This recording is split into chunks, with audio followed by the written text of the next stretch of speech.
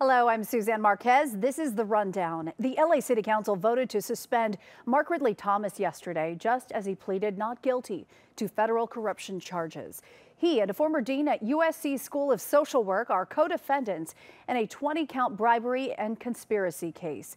His trial is set for December 14th. Today is the Great California Shakeout, where people across the Southland will drop cover and hold on. The annual drill, which lasts a minute, is always held on the third Thursday of October as a reminder to Californians to get prepared for the next big seismic event.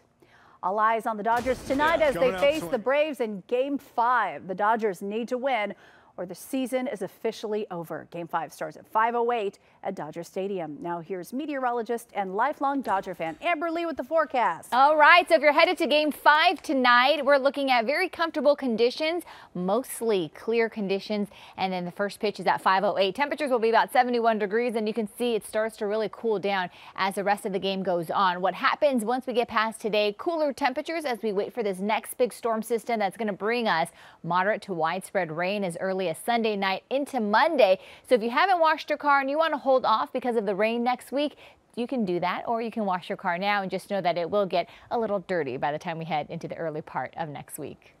Thanks, Amber. Remember, we're always streaming on CBSN LA and watch anytime on our free CBS LA app and on CBSLA.com. I'm Suzanne Marques.